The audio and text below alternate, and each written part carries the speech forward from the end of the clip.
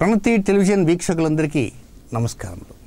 వృశ్చిక రాశి రెండు వేల పంతొమ్మిది అక్టోబర్ ఒకటవ తేదీ మంగళవారం నుంచి పదిహేనవ తేదీ మంగళవారం వరకు ఉన్నటువంటి ఈ తొలి పక్షంలో వృశ్చిక రాశిలో జన్మించిన జాతకులకు ఫలితాలు సూచనలు సలహాలు ఏమిటి అనేది ఐదు పాయింట్లలో చెప్పుకోవడానికి ప్రయత్నం చేద్దాం. ఇక మొదటి పాయింట్ ఏంటంటే ఒకటవ తేదీ ఉదయం దగ్గర నుంచి నాలుగవ తేదీ మధ్యాహ్నం పన్నెండు గంటల ఇరవై నిమిషాల వరకు ఉన్నటువంటి సమయం అంతా కూడా అది ఫిఫ్టీ ఫిఫ్టీగా అనిపిస్తుంటుంది ఒకటవ తేదీ మాత్రం కొంత అనవసరం. డబ్బంతా ఖర్చు అయిపోతున్నాం చేసే పనంతా వృధాని మిమ్మల్ని మీరే ఒక్కోసారి దూషించుకుంటారు. కానీ ఒకటవ తేదీ సాయంకాలం దగ్గర నుంచి పరిస్థితులు మారిపోతుంటాయి. ఆనందం పెరిగిపోతుంటుంది.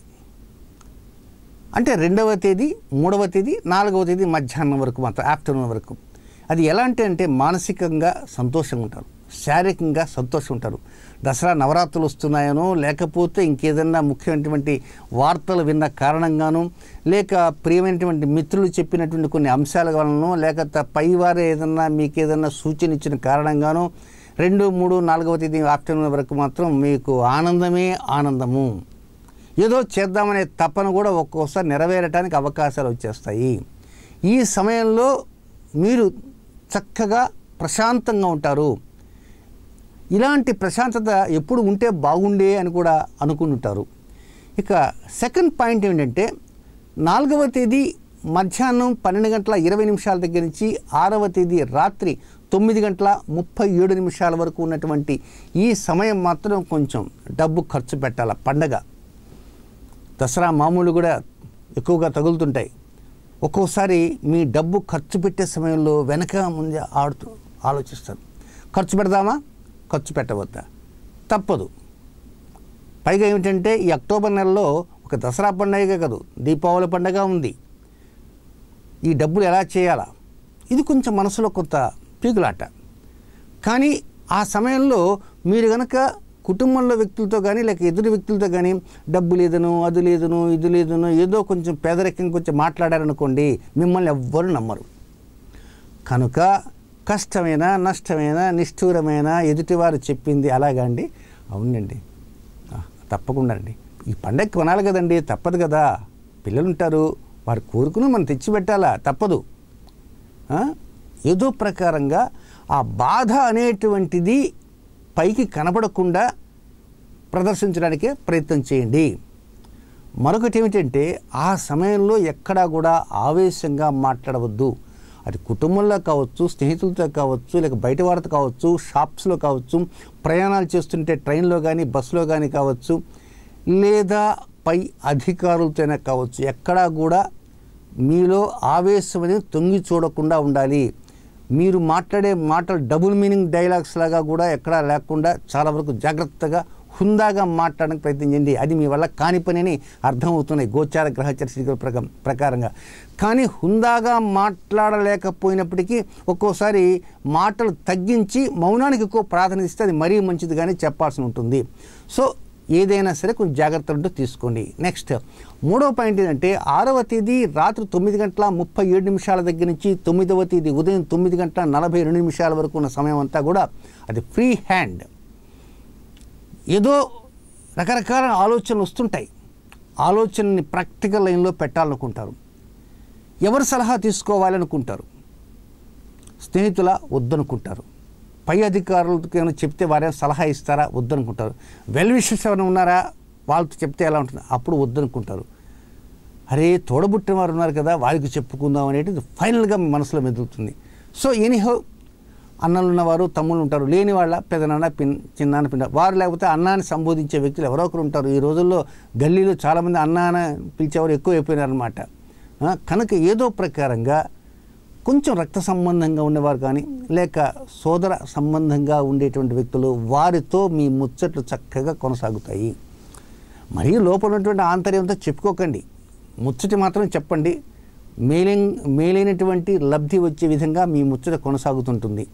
వారి నుంచి కూడా మీరు మంచి సమాచారాన్ని కూడా చక్కగా సేకరిస్తారు. ఏమీ తెలియనట్టుగానే సేకరిస్తారనమాట వారు కూడా కొంచెం అమాయక చక్రవర్తులు అయి బహుశా ఆ సమయంలో ఈ గ్రహస్థితి ప్రకారంగా చెప్పకూడదు కూడా నాలుగు మాటలు చెప్పేస్తారు.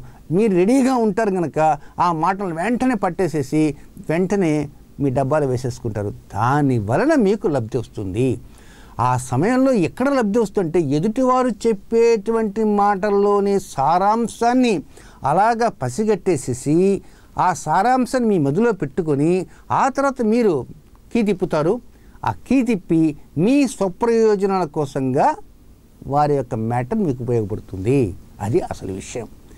కనుక సోదర భావంతో ఉండేవారితో కాస్త మాట్లాడండి. మంచి విషయాలే మాట్లాడండి. ఏం చెడు విషయాలు మాట్లాడాల్సిన అవసరం ఉంటలేదు నెక్స్ట్ నాలుగో పాయింట్ ఏంటంటే తొమ్మిదవ తేదీ ఉదయం తొమ్మిది గంటల నలభై రెండు నిమిషాల దగ్గర నుంచి పద్నాలుగవ తేదీ ఉదయం పది గంటల ఇరవై ఒక్క నిమిషం వరకు ఈ సమయం అంతా కూడా కొంత వ్యతిరేకమే. ఏదో మీరు చెప్పినట్టు వింటారనుకుంటారు పిల్లలు వారు వినరు. వారు చెప్పింది మీరు కొనరు.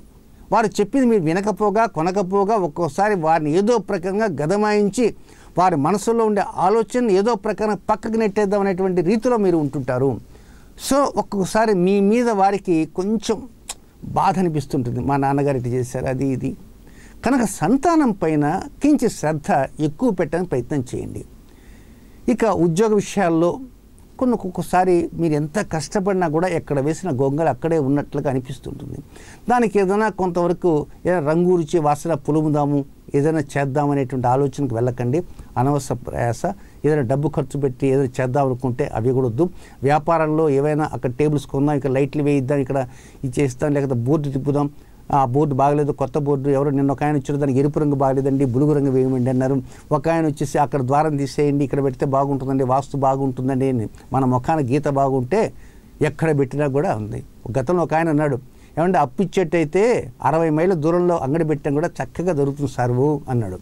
కనుక ఇది ప్రస్తుతం ఉన్నటువంటి లోకంలో ఉన్న వ్యవహారం కనుక మీరు జాగ్రత్తగా వ్యాపార లావాదేవీలు కానీ వ్యాపారంలో కానీ ఉద్యోగ లావాదేవీ కానీ ఉద్యోగ వ్యవహారాల్లో కానీ జాగ్రత్తలు తీసుకోవడానికే ప్రయత్నం ఉంటూ చేయండి. ఇక ఐదవ పాయింట్ ఏంటంటే పద్నాలుగవ తేదీ ఉదయం పది గంటల ఇరవై ఒక్క నిమిషం నుంచి పదిహేనవ తేదీ అర్ధరాత్రి వరకు ఉన్న సమయం అంతా కూడా ఇది బ్రహ్మాండం.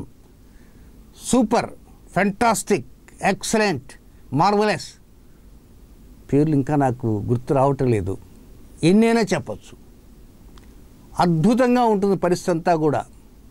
అందవేసిన చెయ్యి. కోరుకున్న వారికి కోరుకున్నంత మహదేవ. ఆ సమయంలో ఉన్నటువంటి గ్రహ సంచారాలు బట్టి చెబుతున్నాను.